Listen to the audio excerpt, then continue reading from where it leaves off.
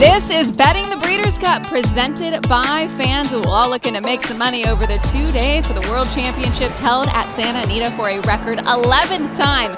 Race number eight could give us an early look at our Kentucky Derby favorite. It's the FanDuel Juvenile presented by the TAA. The morning line odds locked for trainer Todd Pletcher, your 7 to 2 favorite, and Timberlake 4 to 1 for trainer Brad Cox. You've got some heavy hitters in here in terms of trainers, and they have all done very well in this juvenile race before. So let's start with Locked.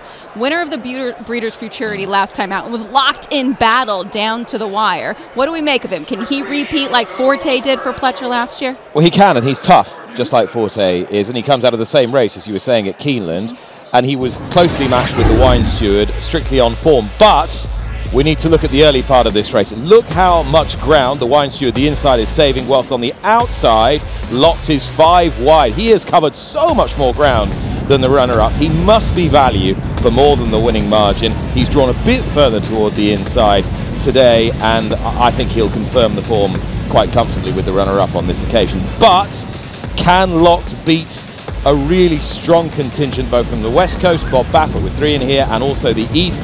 Timberlake is likely to start amongst the market leaders for Brad Cox and Florent Geroux. But I think the horse that finished behind Timberlake last time, General Partner, back on fast dirt rather than a sloppy surface might get closer to him. Look at you giving us an 8 to 1 shot as saw locked across the wire first by about half a length or so. I think we'll take a lot out of that Breeders' Futurity. I want to hear what our handicappers have to say. Edzo, Matt, I feel like this is a fairly wide open edition of the Juvenile. What do you two make of it? Yeah, Britt, Edzo, we, we, just saw that run from Locked. Right. The, the, I would say this horse was five lengths the best in that race, given how wide he was in relation to the Wine Steward. All due respect to Nick, I, I thought he was about eight wide, really, on that first turn. So uh, I, I would I would agree with you, and and I believe this is one of those races here where you're going to need to step up in a very large way. And it is always about trip when it comes to the Breeders' Cup and large fields, young horses. You put it yeah. all in the blender, you just never know. And you look for horses that have had some grittiness and have had some moxie.